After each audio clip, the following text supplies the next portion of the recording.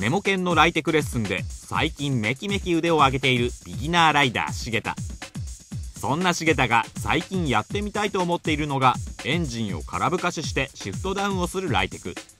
重田曰くあれができれば上手い人に見えてかっこいいからやってみたいというなんともビギナー的な理由からですが実際シフトダウンはバイクをうまく乗りこなすための礎となる大切なライテク。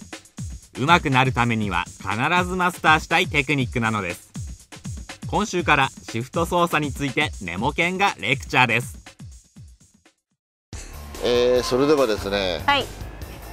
この前って言った念願のシフトダウンというのをやってみたい。やってみたいです。ね。はい。なので、えーまあ普通ねシフトダウンって難しいってみんな思ってて、はい。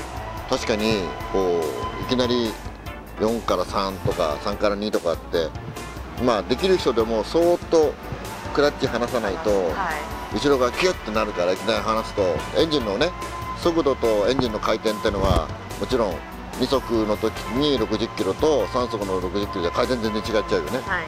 でそれを合わせるために上手い人はブンブンってやってるけど、はい。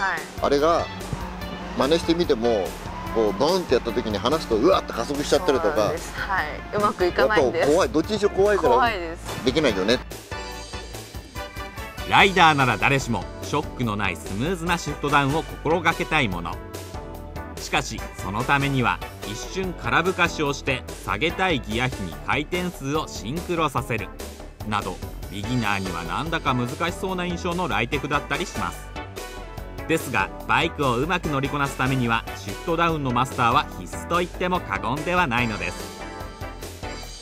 このシフトダウンなんとシフトダウンっていう操作のこれをうまくできるかどうかつまり途切れないようにうまくできるかどうかっていうまあコツはね小さく素早く小さくクイックにバンって一瞬で終わらせてしまうという、後ろの車輪が途切れるようなことのないようにという操作が実はシフトダウンには必要でシフトダウンがうまくなるとシフトアップもうまくなってシフトアップがうまくなるとカーブの中でギアチェンジができる。というところへつながってるから、はい。シフトダウンというのはただギアを落とすじゃなくてはい。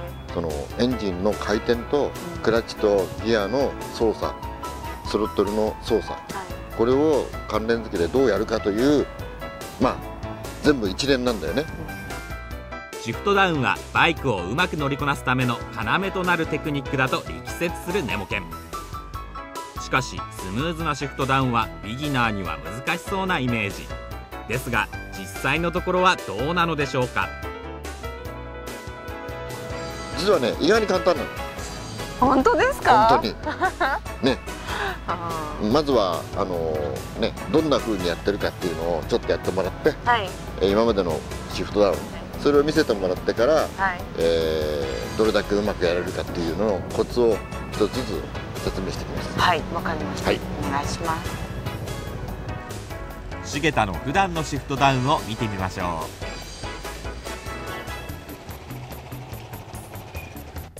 彼女のシフトダウンはエンブレのショックを警戒してクラッチを恐る恐るつないでいます。